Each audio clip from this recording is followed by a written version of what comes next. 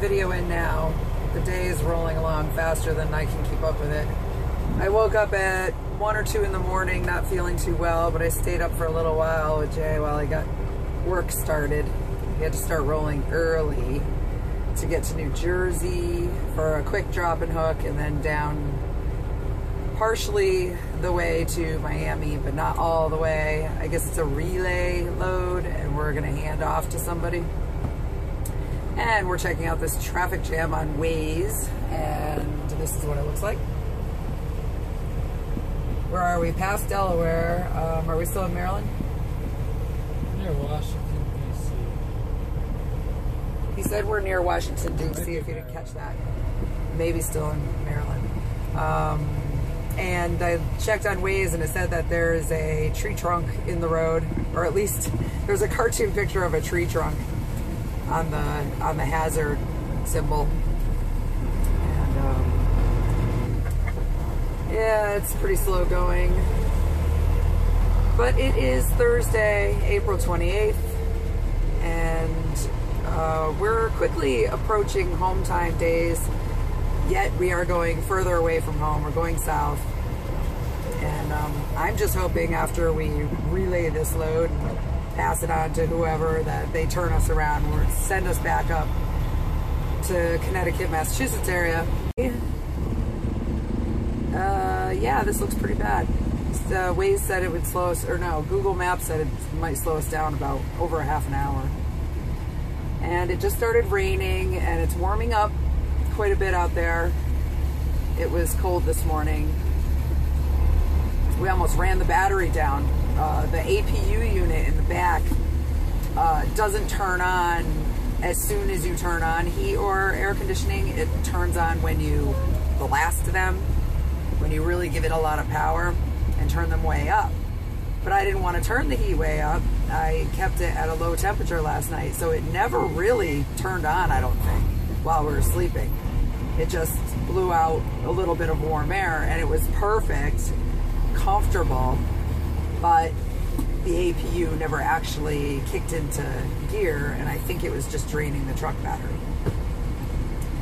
I don't know. I, uh, I was asking Jay right before he fell asleep. I said, uh, is it just going to slowly drain the battery the way, maybe the way leaving lights on in your car does? And, and then the battery would be dead?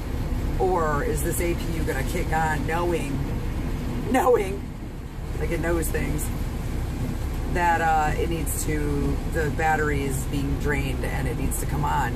I don't really know how it works. We're not totally clear on that. It's kind of tricky. It's an older APU unit. Um, when we get a new truck, supposedly they work better and you can regulate the temperature better. So that'll be nice. That'll be good for the summer, especially when you need air conditioning heavily. And then of course winter when you need heat heavily. But well, actually I shouldn't say that because we are getting it heavy. We're just not getting moderate is the problem. We can blast heat back there and swelter to death, but um, we'd be too hot in the winter and too cold in the summer. Weird. That's the update. It's still early in the day. I'll be back. Just saw a sign said welcome to Washington DC. So that's where we are. And I've noticed for the last three miles, everything is made out of brick. They love brick here. Brick, brick. It's guaranteed to be brick. It's gotten to the point where I want to look it up online and, and see why that might be. It's because of bad weather or because they've got a, a lot of spare bricks lying around. Boy, I wish we could hang out for the day here.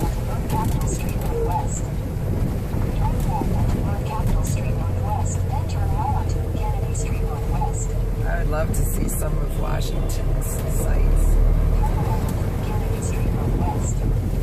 Right here. Wow, this is a maze.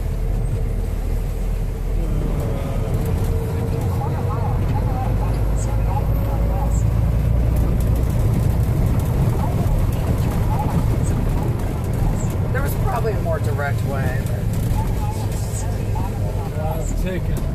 Oh, It's a bad luck. it's hard. We're following a GPS that's not for trucks, so keeping our eyes out for no truck signs. Make that fucking turn. I think you could. You can't. The tree or pool. Can't make this turn here. It really was only supposed to be four miles away, but Continue on Missouri Avenue Northwest for one mile.